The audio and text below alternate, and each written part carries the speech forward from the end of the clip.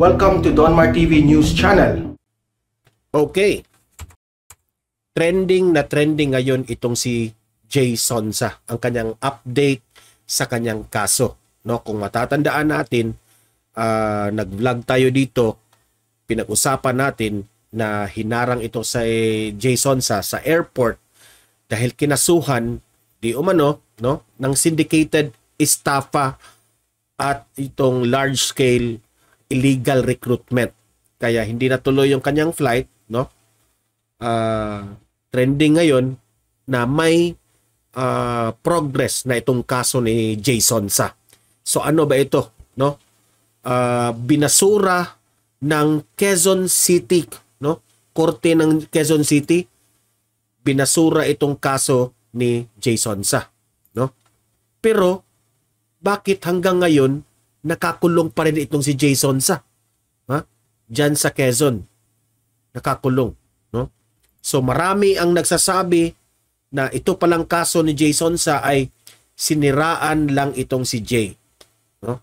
Siniraan di umano para gibain ang kanyang reputasyon bilang isang uh, batikang newscaster, reporter noon. Okay?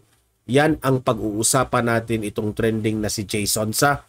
Uh, pero bago ang lahat, help me na i-like at i-share itong video natin sa Facebook at sa YouTube para kakalat ito sa taong bayan. Okay? So sabay-sabay tayong mag-like and share. Ready? Sa Facebook at YouTube, Donmar TV, like and share. 1, 2, 3, go. Thank you. And also guys, i-subscribe, i-follow ang Donmar TV sa Facebook at sa YouTube para lagi kayong updated sa mga balita na kagaya nito. Okay? So sabay-sabay tayong mag-follow and subscribe sa Donmar TV 1, 2, 3, go! Thank you. At mabilis lang ito, uh, overdose coffee sa mga audience ko dito sa Dumaguete City uh, you can visit Overdose Coffee. Meron silang hot and cold coffee at nagsiserve rin sila ng mga different cakes. Okay? Try it. Recommended yan ng Donmar TV. Uh, kayo nang humusga, masarap na masarap yung Overdose Coffee nila. So, punta tayo kaagad dito sa binalita ng uh, Inquirer. No? Sabi ng Inquirer, uh, sa update dito sa kaso ni Jason sa no? Ang Quezon City na Quezon City Court eh, binasura itong kaso ni Jay. Bakit yan binasura? No? Itong syndicated estafa at itong large scale recruitment. Hindi ito biro na kaso ha. Mo, may binasura na na kaso nito. Yan ang sabi ng update ng in, uh, Inquirer. Okay? Uh, ang dahilan dito bakit binasura dahil raw yung complainant no hindi nagpakita. Sino kaya itong complainant na ito, no? Sabi nila did not show up, no? At uh, ito raw hindi raw ito first time na ginawa ng complainant na hindi nagso-show up. Okay? So, kung sino man itong complainant na ito, bakit hindi ka pumunta. Uh, kinasuhan mo si Jason sa at wala. Hindi, you did not show up. Hindi mo uh, finalo up. Hindi mo lang hindi ka lang naman nag-object. 'Di ba? Sa mga response dito kay Jason sa. Yan ang malaking tanong. No? So, uh, ito pala si Jason sa ay 67 years old na. Okay? Kaya uh, dinismiss itong kaso na ito no? Dahil nga napag-alaman ng korte na parang hindi interesado itong complainant na ito dahil hindi naman nag-show up.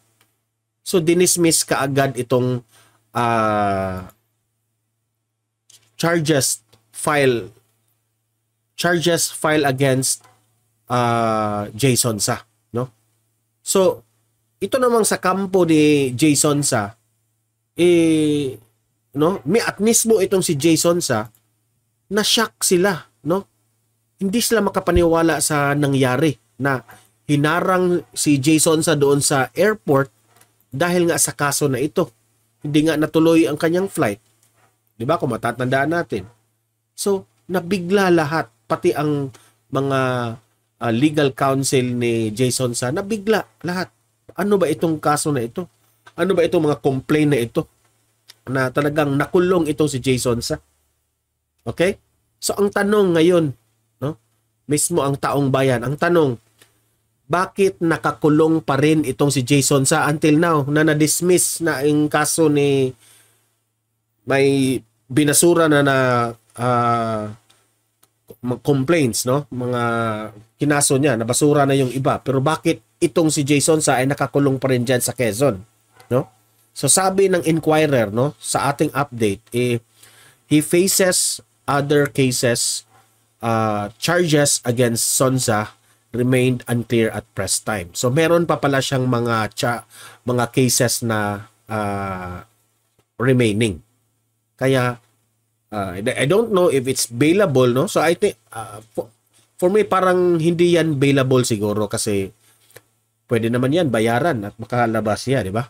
Pero to think na uh, nakakulong pa rin siya, so baka yung mga cases no, na hindi para ito clear sa media, no? Wala pa silang clear information kung anong kaso ito. Pero siguro non-bailable ito kasi nasa kulungan pa siya ngayon. Okay, so kawawa naman si Jason sa. Sabi nga pa nga ng inquirer eh 11 counts of estafa. Ito. Okay, 11 counts of estafa. So 11 complaints ito. Okay? Because 11 counts eh. So ano kaya ito, no? Anong mga storya nito? Oh. Sabi ng kampo ni Jason sa, eh, na-shock sila dito. Okay? Nabigla sila. Oh, para bang hindi nila alam na meron pang lang kasong nag-exist na ganito kay Jason sa. Oh, hindi, nila, hindi nila nalaman hanggat hinarang sila sa airport nung pupunta sana siya sa ano, ha? Uh, sa labas ng bansa. Okay? Ngayon, ang malaking tanong dito, kinasuhan, may nag-complain sa kanya, sino ba ang kalaban ni Jason sa? Yan ang malaking tanong ngayon. Sino ang kalaban ni Jason sa? Na nagbigay, nag-file ng complaint dito. Yan ang malaking tanong. Okay? So ito yung analysis ko. Dati, itong si Jason sa eh uh, uh, vlogger, uh, YouTuber, reporter ito na Maka Duterte, no? He's a DDS vlogger, kumbaga, no?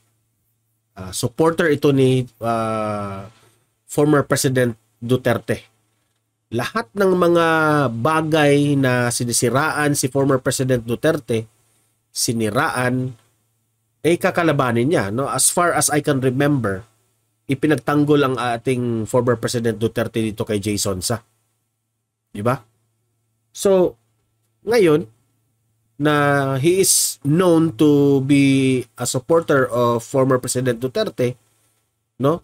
Na lahat ng mga kalaban ni former President Duterte noon, no? Eh, tinitira niya, no? Eh, prangka itong magsalita si Jason sa eh. Kung ano ang sa tingin niya, yun ang totoo, eh, titirahin niya yan sa kanyang mga show.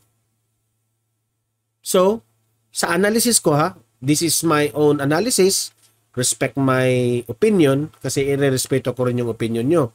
Opinion ko dito, sino man yung mga kalaban ni former President Duterte? Di ba yung mga dilawan? Okay? So I think na may mga so, uh, kalaban itong si former President Duterte na tinitira nitong si Jason Sa na nag-complain sa kanya ngayon. Ginawan siya ng kasalanan, no? Sinisiraan siya. Yun ang ating analysis. I might I might be correct, I might be wrong, but analysis lang ko lang 'yan. Okay? Pwedeng magkatotoo, pwedeng hindi. Pero malaki kasi yun ang mangyari. No? Especially nung time na yung mga election, eh, ipinagtanggol nitong si Jason sa ating ating former President Duterte. At ang kanyang tinitira, mga kalaban ni former President Duterte, no, mga dilawan, mga pinklawan, tinitira niya yung mga pasaway. Oh. Hanggang ngayon, baka, ha? Hmm. Itong mga kaso na ito, very questionable. Okay? So, yan ang development ngayon sa kaso ni Jason Sa. So, libre kayong mag-comment, mag-react tungkol sa issue na ito. Ano ang masasabi nyo uh, tungkol dito? Bakit hindi pa nakalabas itong si Jason Sa na naka binasura na sa korte yung iba? Sino ang mga kalaban nito? Sino meron bang makapagbigay ng pangalan? Sino ang nag-complain dito? Kasi hanggang ngayon sa, sa media wala pang ni-release na pangalan kung sino at si, saan ito connected. Okay? Yan ang malaking tanong. Comment down. Pag-usapan natin yan sa comment section.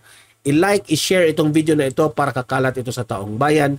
Subscribe, follow Don Mar TV para lagi kayong updated sa mga balita na kagaya nito. Okay? Happy Sunday sa inyong lahat. Uh, God bless and see you in the next video. Have a great day.